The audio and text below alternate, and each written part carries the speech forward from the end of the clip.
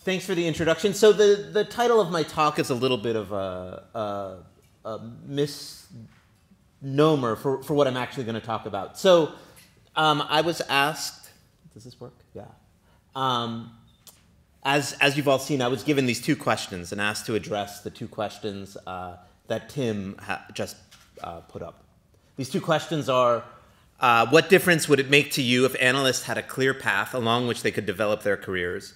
And in your own context, what is the current balance between organization and individual needs when considering analytical delivery? And I'm used to giving talks where I have you know, a bunch of research projects and I stand up in front of the room and I talk about my research.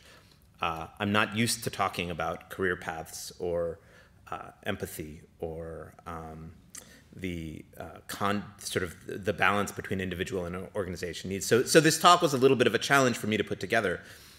Um, so what I thought I would do is talk a little bit about myself and my own not so clear path. Uh, and what I see as emerging differences between academia and industry, which, which make the path for others unclear. Um, and then I thought I'd spend a little bit of time answering the actual questions that, that Tim asked me to answer. Um, so about me, um, I started my career working in, in this building. I, I inherited uh, a, a bookshop on the seventh like right about there uh, in the Flatiron Building in New York City. So, so for the first uh, five years or so of my professional life, I sold old dictionaries and encyclopedias to people. Um, and I got a little tired of that um, and went back to graduate school and uh, studied urban planning. Um, I'm now a professor of geography uh, in Boulder, Colorado, uh, where I direct something called the National Science Foundation Census Research Network. In particular, I direct a piece of that network that focuses on spatial science. My research looks at social space and the intersection of sort of mapping GIS, demography, and statistics. Um, and I also work for a very large tech company in Silicon Valley, sort of in addition to the academic work. So I have both private and public sector experience. I've done this kind of work on in very different contexts. Um, and the reason I became an analyst is uh, the first job I had after selling the bookstore to some sucker. Um, I, I uh, worked with a community group in Harlem on uh, childhood asthma. So the, I went to Columbia University, and the neighborhood just north of there had about a 30% childhood asthma rate. And I was working with a community based organization on something called the Harlem Children's Zone Asthma Initiative. And um, the conditions that people lived in in this neighborhood were pretty shocking. This is somebody who, you know, didn't have a working kitchen in her house and is preparing food uh, in the bathtub. Um, this is a kid who has pretty severe asthma, and, and it's made much worse by the fact that uh, there's water damage uh, in the ceiling and mold. And so the Harlem Children's Zone Asthma Initiative hired contractors and hired people to go around and actually address these things and fix these things uh, for people who couldn't do it on their own. And we got data out of this thing. Um, we found that at, at the beginning of this program, about 25% of the kids in the neighborhood that we were working in had, had missed school because of asthma within the last two weeks. Right? So a quarter of children are missing school regularly because of asthma. Um, for those families that were enrolled in the program, after about a year, that number was down to around 7%. And the question that we were asked, that I was asked by funders, was, well, did this program work? And I said, well, yeah, of course it worked. Like, look, it goes down. Um, but they wanted something more rigorous than me sort of saying it goes down. Um, and that was the first time in my life where I had to sort of engage with, with data analysis and statistics. And working with a biostatistician, uh, you know, we came up with this number, which was great. Uh, and it showed that the program was worked and was impactful and it was funded and scaled up and in the newspaper and it, it was great. It was good for me. Um, and it also made me want to go get a PhD, which, which is what I actually did soon after this. Um, in Colorado, I run, some, I run this, this research network, which is a center that's focused on improving uh, the sort of the quality and the usability of national statistics in the United States. In particular, we focus on those statistics that get mapped, so statistics that describe places. Um, And the main program that we work on in Colorado is something called the American Community Survey, which is the primary source for demographic and economic data about the US. Um, it's an interesting kind of program. We used to have a census that was done once every 10 years. Um, and in 2010, we stopped doing that. And we started doing this thing called the, we still do a census, but it just counts the number of people in a place. Uh, if you want to know anything about education or earnings or any economic or demographic data, you have to use the ACS. Um, and the ACS is interesting because it's what's called a rolling survey. So rather than measuring everybody on one day and mailing out a survey, the ACS is constantly measuring the American population.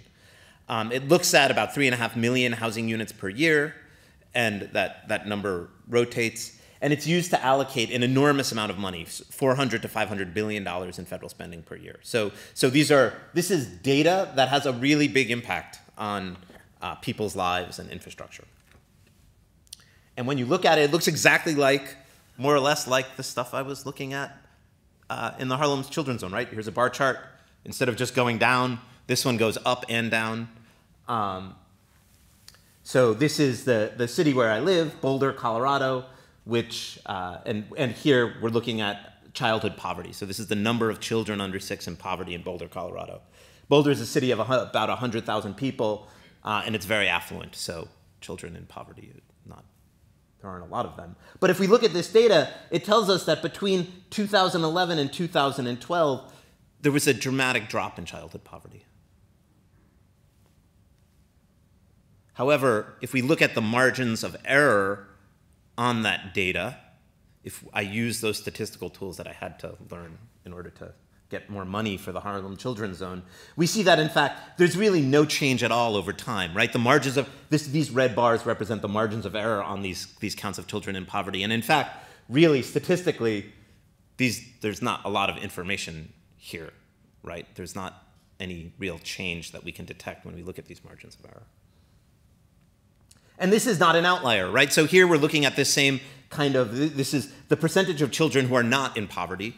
This is, these are neighborhoods in Chicago. And here we have 0% of children in poverty, and here we have 100% of children in poverty. And the ACS, for all of its millions and millions of dollars, uh, tells us that in most neighborhoods in Chicago, somewhere between 0 and 100% of children are not in poverty, which is maybe not all that, that useful. Um, here we're looking at the same data for LA. Uh, number of children in poverty, and it tells us that, you know, in this particular census tract, which is like a neighborhood, there are 92 kids in poverty plus or minus 142, 99 plus or minus 115, 61 plus or minus 174. So we have this, this very expensive, very large national statistical program that's for socially meaningful variables is just not giving us a lot of information. Um, just to show you that these aren't, this isn't an isolated case, here we're looking at every neighborhood in the United States. This is that same variable, the number of children under six in poverty. On the x-axis here we have the estimate, so from low poverty up to high poverty. And on the y-axis we have the margin of error. This red line is where the margin of error equals 100% of the estimate. So any dot above this red line means you have a neighborhood like that thing in LA where you, there are 90 kids in poverty plus or minus 100, right? And it's essentially useless information, right? It tells you somewhere between zero and 200 children in that neighborhood are in poverty. Um, so about 45% of all neighborhoods in the United States, the estimate for the number of children in poverty, the margin of error is greater than the estimate in 49%. In, in, a 40, in 45%. In 49% of all neighborhoods in the United States, the margin of error is 50% or more, or is, is between 50 and 100% of the estimate. Right? So in all of these places, if you wanted to use this socially meaningful variable to do something, it's very hard. Right? We produce data that's just very difficult to use. We talk to people, uh, and if you, you, saw my talk in Liverpool today, there's a little bit of, yesterday, there's a little bit of overlap, but it'll end soon. Uh, we talk to people and we ask them, uh, we did a survey of, of local governments in the United States, and we asked them what they do when they get information like I just showed you, where the margin of error is bigger than the estimate. And they say things like, I run for the hills, I cry, uh, They also say things like, well, I just don't look at the margin of error because it makes things a lot more complicated. Um, my customers, right? So the people I report to, the, the councilman or the mayor or whoever, they're not going to understand the margin of error, so I just ignore it. So this means that a lot of decision making and a lot of a lot of sort of allocation is being done on data in a way that just doesn't make any sense. And even worse is that a lot of this last quote speaks to the fact that a lot of federal programs in the United States use the ACS to determine eligibility. Um, but the eligibility rules focus only on the point estimate, not the margin of error. So this person says in some cases you just have to report the estimate, the end user may be using it for a grant application or a funding program that requires the estimate without any consideration of the margin of error. And here's an example of that. This is a program that invests in financial institutions in neighborhoods where 30% uh, of the population or more lives in poverty. And if you look at the poverty statistics for the United States using the same kind of visualization that we used before, where anything above here, the margin, the actual, the margin of error is greater than the poverty estimate. Anything in between the red and yellow line, the margin of error is 50% of the estimate and so on. So the data that is being used to allocate actually literally billions of dollars over the last decade through that financial institutions program is so fuzzy that it's very hard to determine if a place is eligible or not. So a place might have a 25% poverty rate plus or minus 10% and not be eligible for this program. And similarly, a place might have a 35% poverty rate, plus or minus 10%, and be eligible for this program. And you really, you know, some people are not getting support that they might need, and others are maybe getting support that they don't need. Um, the story gets a little better if we look at uh, median household income for the United States, which is a, a a, a, sort of the bread and butter variable for social scientists working in the U.S. Um, so for median household income, the U.S. the, the the estimates, the margins of error are generally lower, but they're not all that low. They're still pretty big relative to the estimate. Um, and one of the shocking things about looking at so here we're looking at median household income in the United States. The blue are places with sort of good data for median household income, and the red are places with bad data. And one of the really striking things about when I say good and bad, I mean the margins of the, the size of the margin of error relative to the estimate. This is actually the coefficient of variation, if you know the stats. So here, blue are places where we have uh, a relatively low coefficient of variation, so high quality data next to high quality data, and red are clusters of low quality data. And it's very clear that you know the Northeast and the Midwest has decent data, and the southern parts of the United States have pretty bad data. But if you zoom in and look at the city of Chicago, for example, one of the things you can't see in that national level map is inner cities generally have worse data than the surrounding areas. And these are the places where, like, that need to be eligible for those federal programs. And what it means when I say worse, it means that this data is just very noisy. It bounces around a lot, right? So you don't really know if the numbers are, are real in the sense that, sort of, you know, when you ignore that margin of error column and just look at them, they might not be telling you what, what you think they're telling you. So, why is this data so bad? Um, Part of it is just funding. The, the, the number of people that are used to produce these neighborhood level estimates has changed. It's gone down quite a lot. So uh, for the 2000 decennial census, this is the last time the, this once a decade program collected demographic and economic data. That program had about 250 people per neighborhood, or estimates were based on about 250 completed surveys per neighborhood. And the ACS is based on about 123, so, so literally half the size. And that's just money at work, right? That's just not having enough money to field enough surveys to get enough responses to make the margin of error small enough for the data to, to use.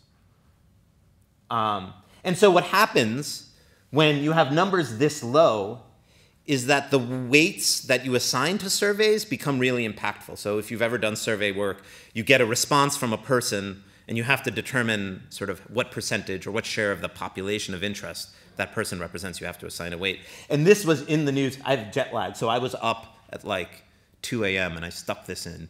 Uh, this was literally in the news like this morning uh, about political polls in the United States. Um, and one poll, so typically the New York Times reports the average of a bunch of different polls. But one poll was an outlier and had Donald Trump sort of way ahead of Hillary Clinton. And that was sort of pulling his average up. In these average of polls, this was pulling up his average. And it turns out this is a story about how one 19 year old black man in Illinois, because he was assigned a survey weight that was about 3,000 times everyone else in the survey, because he was a young black man who supported Trump, which is sort of this rare thing, and by whatever calculation they used to come up with the weight, it was wrong. So he's like, a, this one guy is like affecting the national polling. And it was like a really interesting story, I thought. So it's in the paper today. Uh, so uh, just to sort of wrap this bit up. So traditional sources of demographic data are under pressure, right? They're under pressure because of funding. They're under pressure. A lot of the problems with the variance in the ACS have to do with sort of technical details around estimation of weights, actually, in exactly the same way that that uh, that that New York Times story was was talking about. Um, but they're also under threat politically in the United States. And so this is, this is congressional testimony from a, a, a legislator from Texas, uh, Ted Poe, which is a good kind of Texan name. Um, and he delivered this testimony uh, to uh, a, a, committee that oversees these national statistical agencies uh, in 2012 or 13, I forget exactly. So Representative Poe says, I am here to provide voice for the many Americans who have called my office angry that they are forced to provide private information in response to the invasive questions from the American Community Survey.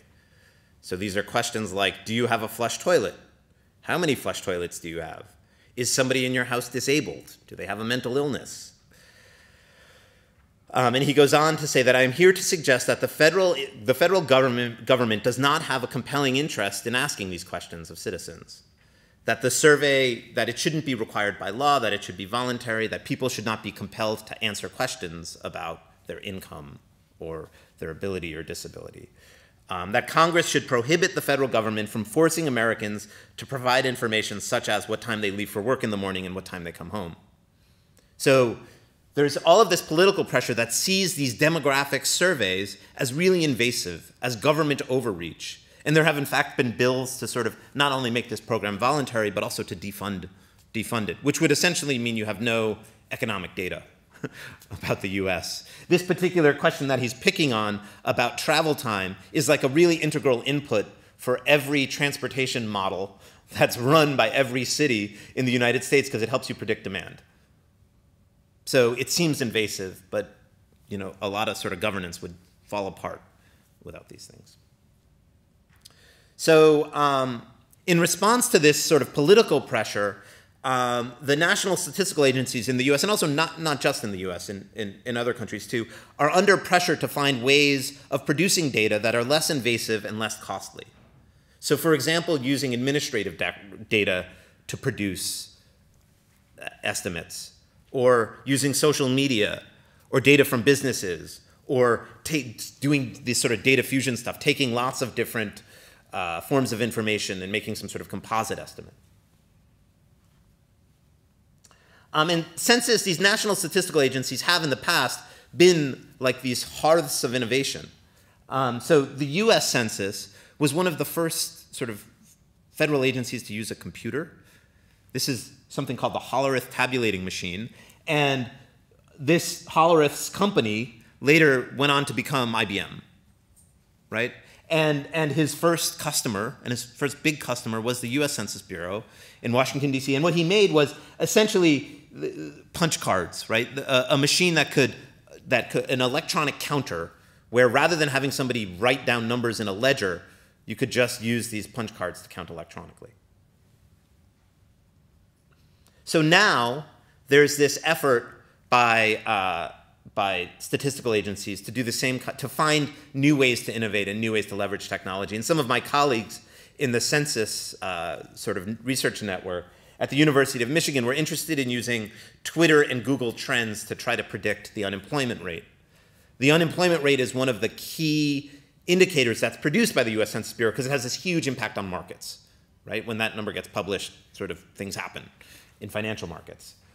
Uh, so here we're looking at the occurrence of the word jobs uh, in the news according to Google Trends, which if you've ever used Google Trends, it's this cool thing where you can type in a phrase and sort of see its occurrence over time. So um, my, my colleagues who are at the University of Michigan were, had sort of built this composite indicator and were trying to back predict uh, the unemployment rates uh, using this and some other things. And uh, it kind of broke in 2011, their, their model.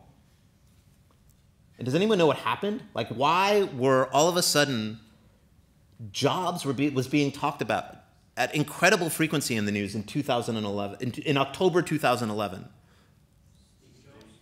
Yeah, right? Steve Jobs happened to die, right? It has nothing to do with the economy. It's just that the guy's name happened to be Jobs, and that broke their model, right? Um, I'll skip this. So I think that in the academic world, we sort of dabble. We're, we're, we're, fundamentally still stuck in the Hollerith tabulating machine world, right? That is, we, we, we depend upon data from national statistical agencies. Many academics, myself included, this, this is an example of it, but I won't really talk about it, sort of try to use these new forms of information from social media, from Google Trends, from the, uh, you know, business data when we can get it to, to understand the economy and to understand the social landscape in places. But we're only able to really get at the very tip of the iceberg, that is, the kinds of information that are available to us compared to the kinds of information that are available to certain uh, sort of sectors of industry are very, very different. That is, there's this very profound asymmetry in the kinds of information that we have as academics and as people who are training future analysts and that, that, that businesses have. And one of the most striking things when I went to Silicon Valley was, was this sort of asymmetry. So this is data from the Federal Reserve on the percent of all retail sales in the United States that are done online. And it's now almost 10%. 10% of all retail activity in the United States is online. That means shopping, all of these experiences are mediated through the internet and through, uh, you know, Google, through Amazon, through businesses that can capture information about people engaging in these, can, can, can, can capture this transactional level information, but also everything that led up to the purchase.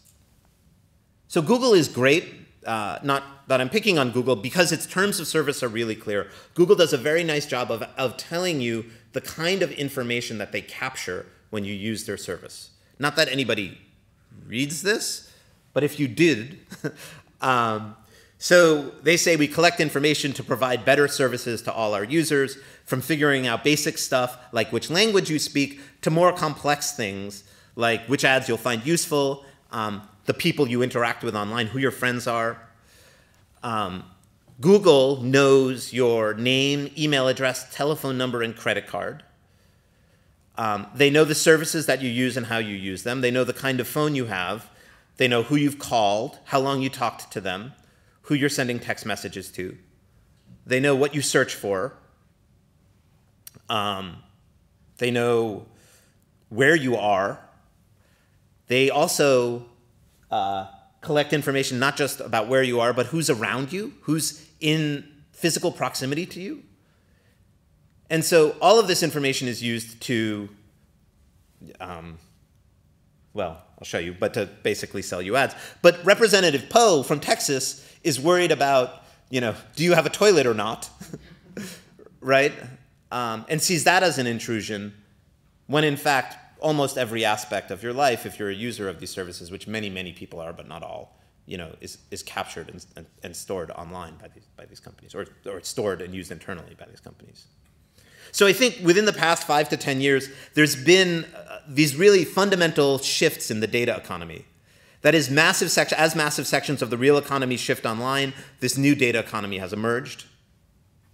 And this new data economy is not characterized by free trade. That is, the, the data that is generated through all of these transactions is incredibly valuable, sensitive, and is really mission critical for the businesses that capture it. That is, it is this, it, this data is core to their business model and, and not likely to be shared because it's such a strategic asset. So Google, for example, uh, had 30, and this is in the US alone, $30 billion in advertising sales last year, which is like a lot. um, and and that, that is all predicated on this information about, about essentially they're able to be very effective as a broker for advertising because they know a lot about you and they know what you're shopping for and what you're looking for. Um, and they're also effective because they can, they can sort of demonstrate the, their effectiveness to advertisers. Um, Facebook is a growing player here, um, as are sort of other, you know, um, a bunch of other players. And in fact, when you look at you know these tech companies in Silicon Valley, they're often they're often discussed. Their value is discussed in terms of how valuable a user is on that platform. So Twitter, which is desperately seeking somebody to buy it these days, um, has a relatively low valuation. That is, a Twitter user is only worth about $45. That is, so, so what you do is you take the market capitalization of the company, divide it by the number of daily active users, and you get a statistic like this. So a Twitter user is worth $45, whereas a Google user is worth about $325, right? So um, Google has a lot of users and a very, very high market capitalization. Um, and the reason people talk about the value of these big companies in terms of users is because that's what produces the, the, the information that allows them to sell advertising effectively, which is in fact their business model. Um, and data from these companies is simply unavailable to people outside of the company. And in fact, it's not just academics and the people doing the training of analysts who don't have access to this information. Increasingly, there's grumbling within Silicon Valley about lack of access to information. So does anyone, TechCrunch is this really funny, it's like the Silicon Valley sort of news thing, which is like a mix of like video game reviews and like news about like, you know, the latest sort of funding rounds for startups. And it's very, it's a weird news source. Anyway, uh, you know, there was, there was just an editorial in TechCrunch about the fact that startups no longer have access to uh, information on these big platforms like Facebook uh, and Twitter. That is, the, the, the, the data that they had previously been able to use to build apps that, that they could then try to monetize is now unavailable because it's seen as such, a strategic asset. It's, it's being sort of locked down. And it's not just not available to researchers or people who do training, but it's also unavailable to sort of app developers and people sort of in that world. So I figured I was going to be about out of time now. I don't know how I'm doing on time. Okay. Um, I thought I would transition to just sort of talking about the questions that I was asked to answer. Um, because I don't really know what else to say other than what I've said about this asymmetry in the kinds of information that, that's available. That is, these national statistical programs are under both political pressure and financial pressure, and the quality of the data, at least in the United States, is degrading. And there's this very profound asymmetry in the kinds of information that are available between industry and academia. So I was asked to answer what difference would it make to you if analysts had clear paths along which they could develop their careers? And in your own context, what is the difference between organization and individual needs when considering analytical delivery? So I think it's hard to talk about clear paths for analysts when the at a very high level, at the sort of 10,000 foot level, when the ground is changing. That is, when there are fundamental changes to the data economy, you know, these, these present challenges for training. We cannot, in a classroom, uh, as academics say, oh, here's what a career looks like in data science, or here's what a career looks like in statistics, because I don't think anybody in this room really actually knows 10 years out or five years out what it's going to look like in terms of what you actually do, what kinds of information you use, and what tools you use. Um, I, I, think we can't train students to think critically um, or sort of teach them how to work with customer level data because academics seldom have access to it because it's a strategic resource. So um, in a grand sense, career paths for analysts are unclear because the data economy is being up upended. But in a very tactical sense, as a manager, for example, you know, as somebody who, who has managed teams of analysts in the past, I think you can, as a manager, answer questions about career progression. And you can sort of, at a, as somebody who's working with analysts, um, I think help people provide, understand career progression. And uh, even though there are these sort of macro changes happening. So I think as students, um, analysts sort of have to learn how to look beyond the methods. Students and early career analysts are very interested in tools and sort of how what tool you use and how you use it and sexy tools or sort of new tools, whether it's a deep neural net or a you know um, whatever it is. Um, I think as as as early hires sort of transition into mid-career roles within industry, it's important to train people to ask the right question. That is, ask questions that are impactful for your business. That is, rather than just taking data and doing some model, because that's what you know how to do, make sure that the thing that you're working on has a clear business case and a clear product at the end of the, the road. And then I think as you move sort of from, you know, move through mid-career towards sort of uh, senior career, and as somebody who tries to mentor people through this, I think it's about widening context. It's about that, that the analysis that you've done provides fundamental insight into business processes. And for an analyst to sort of move on to more senior roles, it's really about how you use those insights that you've gathered to grow within an organization. So I think in a very tactical managerial sense, you can provide a sense of career progression even amidst all of these sort of big scale changes. Um, the second question that I was asked to answer was about individual versus organization needs. Um, and I think, again, this is the, the, a kind of question that as a manager, uh, I, I would approach by sort of working with my, my, my staff. Um, that is, I think it's important to set individual goals with people. Um, and to make sure that through their daily work they're able to achieve their own individual goals, uh, but also that in so doing they're sort of advancing some business objective. Um, I think one way to do that is to allow room for exploration and innovation within the job. That is to say, hey, you know, you know what, you know, you work, you work on this problem every day, you work with this data every day, you know what works, you know what doesn't work. You know, if there is a way to do this better, do it right? It may cost us something in the short term, but in the long term, it'll sort of improve our internal processes or improve our product. Uh, and people have the satisfaction of sort of creating something new and innovative and stretching their skills instead of feeling like they're on a hamster wheel and just doing the same thing every day over and over and over and over again, which I think makes people burn out and go insane and leave. Um, so yeah, I, I think that's sort of my answer to these questions in, in that in that in a on the ground sense, these are managerial questions. So to wrap up, um, I think that the quality of public demographic data in the United States has changed in a pretty profound ways. That uh, data production programs in the United States are under pressure, both financial and political pressure, uh, and they're under pressure to sort of evolve and get become more modern, but they just don't have access to modern information. Uh, they get drips and drabs um, that there's this divergence between industry and academia in terms of the kinds of information resources that are available. Um, I think one could ask the question if the, the forms of data that, that say Google has uh, make national statistical programs irrelevant to industry. That is, why do you need to know the average income in a neighborhood if you actually know everything about the people who live in that neighborhood? Um, and I think I think you know these these programs may become increasingly irrelevant as that asymmetry becomes more profound. Um, and again, this asymmetry makes training difficult and career paths uncertain. Um, all my work on the ACS, a, a, lot of the work that I've presented here is the result of collaborations with lots and lots of people, and the, the papers are, are all here.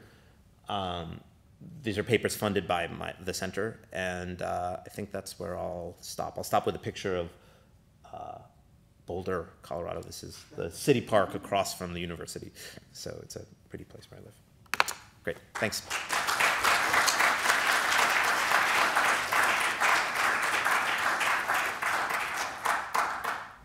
and I think Tim had some scheme for gathering questions.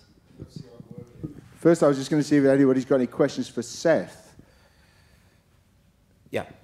Yeah, um, just on the data asymmetry and what's available to academics, I assume in the USA you will have uh, potentially access to things like uh, tax returns and those that kind of information, which would, for example, fill in a lot of gaps around income. Um, I, very few people do. I, I, I have applied for access. Uh, I have been granted access, but then denied access, and then granted access, and then denied access. Um, so that information is available in what are called secure data centers. Um, I'm building one of them in Colorado, but there are a very there are a handful of them throughout the country, um, and getting access is very difficult. It requires that you swear an oath, which is that if you ever leak information, if you ever browse browse for individual records or leak information, it is an automatic $250,000 fine and five years in jail. Um, when I said no, thank you, they said, "Well, we've never actually prosecuted anyone, so it's okay." So it is it is available, but under uh, very very restricted in very restricted environments. You can bring no you can't bring a phone, a paper or pencil. There's no internet in these rooms, so if you write code, you have to do it from your head. You can't you know look up functions and things. So it's it's a very limited environment, but it is it is available. But maybe that's the price. I mean, that sounds excessive, but maybe that's the price you have to pay in order as academics to have Yeah. access to that kind of information. And I think will be quite similar to those in the UK, at uh, sort of Titchfield and ONS in Yeah. terms of access to data there. Yeah, yeah. It, it, it, I, th- I think it's not unusual. I don't think it solves the training problem because access is so restricted. But I do think it, it, it is, and in fact, there's a very large call out now from the from the Census Bureau about using these these administrative records like like Texas to to improve this stuff, and that's a very active area of research. Yeah.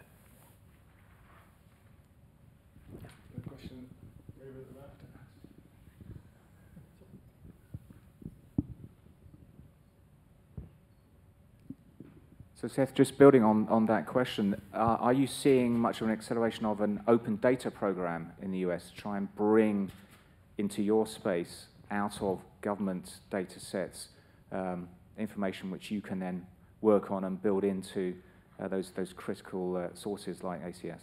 Yeah. Yeah, I mean, many governments do have open data programs. Um, but the kinds of information that you get out of the sort of local open data programs are not necessarily demographic or, or economic. So, so they help you do certain kinds of things, but uh, not others. And so, uh, but they're, they're, they're there. And I think they're, they're, it's important to think about how they, how they can be used. Um, so property records uh, being an- a really important information asset that is that are increasingly available in the U.S. Yeah.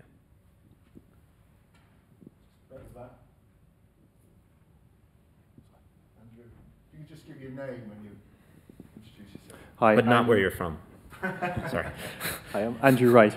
Um, so, just to follow up on that question, uh, are there uh, is there much headway being made in getting, say, technology companies like like the Googles of the world to share some of their data? Because to, to use your example of say transport demand, Google must have an awful lot of data about that from Google Maps and Waze Mhm. and things like that. Uh, and there must be lots of other examples, you know, from them looking at search history and shopping information, all, all sorts of stuff that, that, that can be very valuable to academics and, and industry and government if, if they would only hand it over.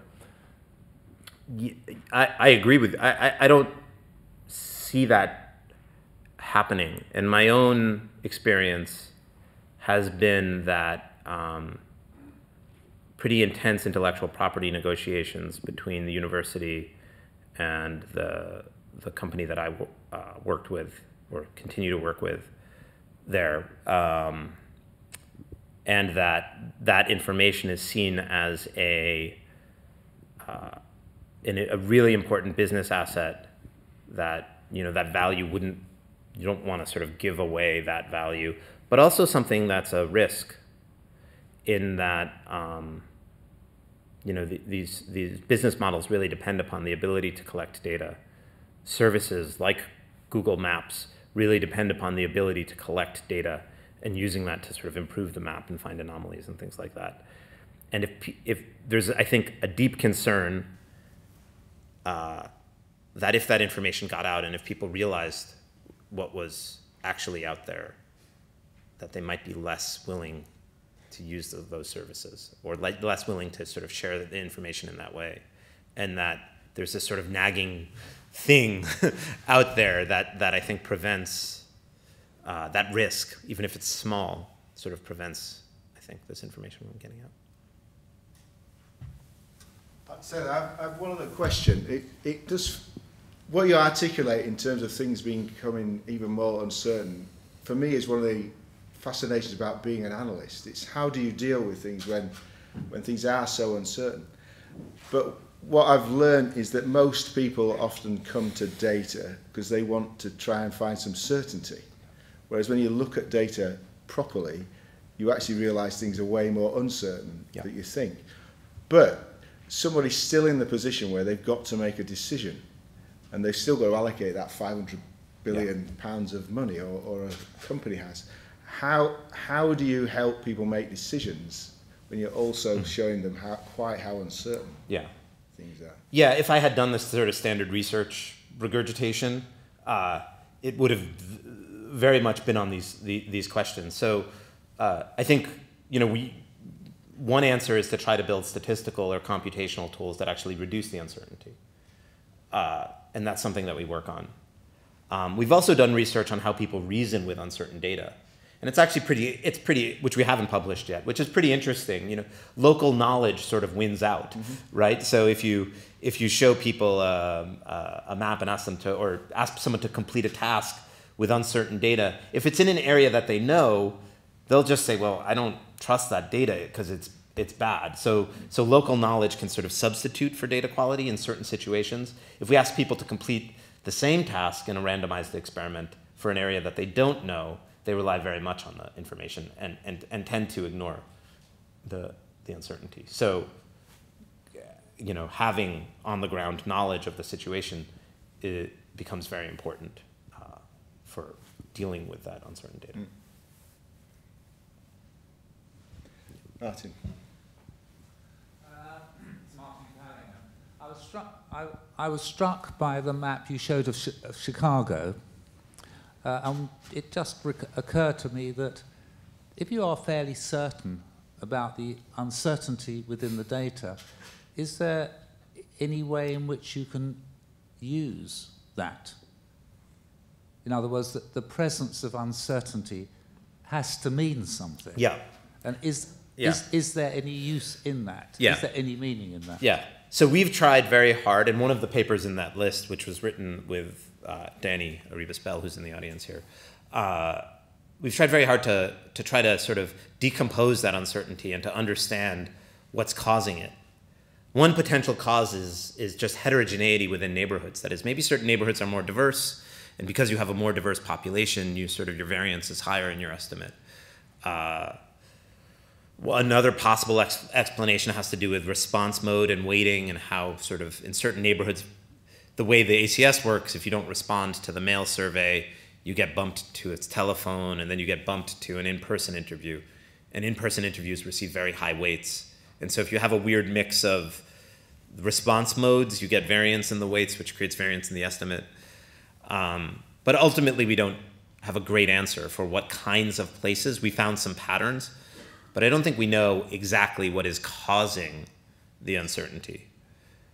Um, we have tried to build sort of uh, geodemographic classifications, which we think actually reduce that uncertainty. If you think of uncertainty as random error, and you have a lot of different variables with random error, by sort of putting a lot of them together, uh, the individual variables are noisy, but those random errors should sort of cancel each other out. So if you think about a multivariate classification, maybe you can get a uh, a typology of a neighborhood without actually getting a precise point estimate for income. And so that's another strategy that we've used to, to look at, at these data.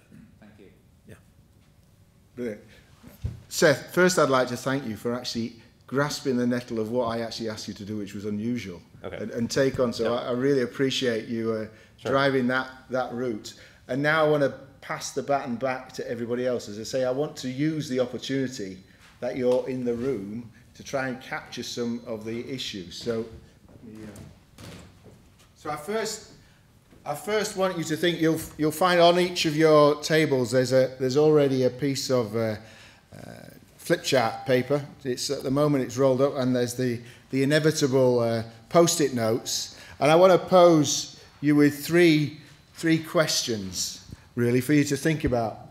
And we've got about 50 minutes to do this. So the first question is, hopefully, Seth's presentation and, and the stimulus to be people has given you some opportunities. I want you to particularly focus on your own environment.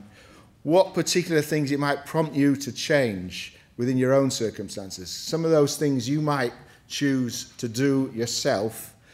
And then and I have to give uh, Neil credit. Neil's going to speak after, after the coffee, just before lunch. Neil suggested two really, what I think are really interesting questions. One is, what's the safe step you can take to try and achieve one of those goals? But then the next one is, what would be, if you, if you took off the shackles and you didn't think about other people's opinions and all the constraints of the organisation, what would be the really risky step you might want to take? So I'm going to give you uh, five, five to seven minutes first to just think about that.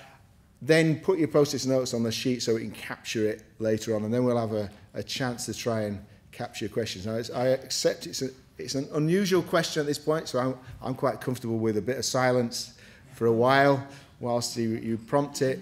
So think first, what sort of thing, as a result of some of the things Seth said, it might be other ideas, would you like to change about your own environment and in order to do analysis better? Okay, thank you very So I'm, I'm really keen now to just see it. They say in behavioral change mode that those who are actually publicly state it are way more likely to do it.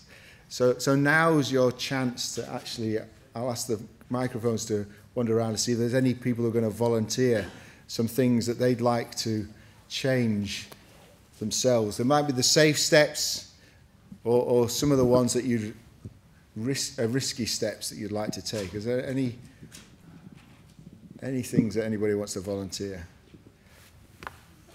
Out the back.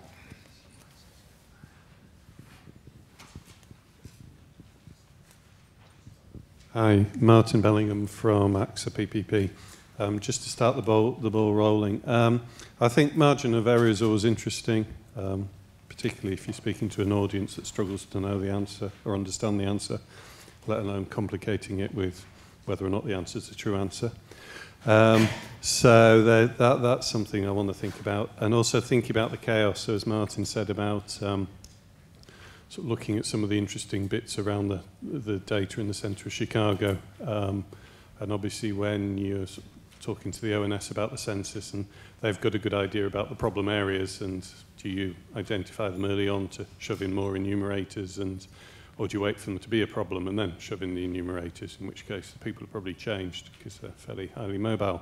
So I think in terms of the, the second question um, is actually look at it from my point of view. So yeah, margin and error, uh, understanding some of that.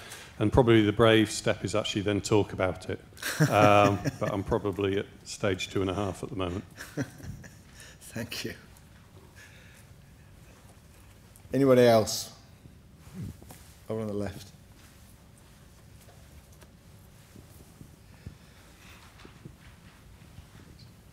Uh, James Gooding. Um, we we had a, a kind of broad-ranging discussion, but we did try and answer the questions. Thank you. And um, I, I just felt that there's not really that much time to go back and have a bit of appraisal afterwards on a piece of analysis.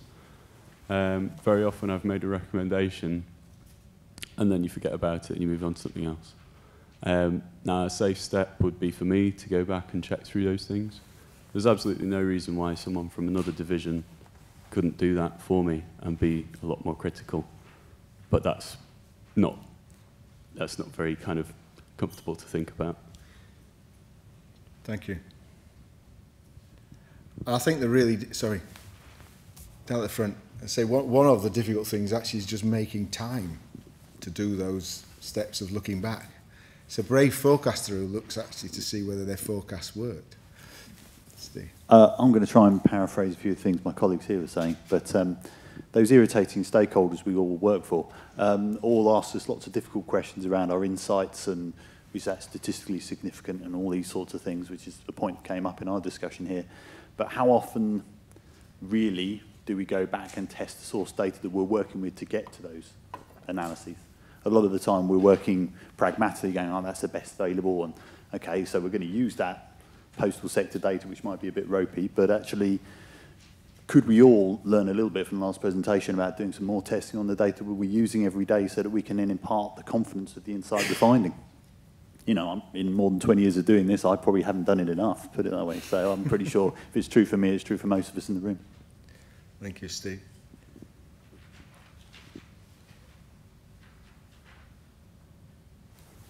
David in the back.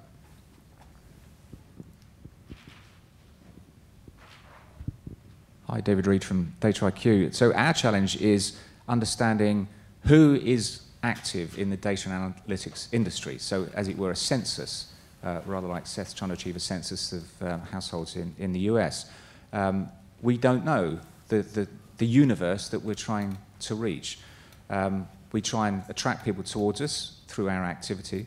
Uh, so a safe step might be everyone who's engaged with us, ask them who else around them is also engaged with this.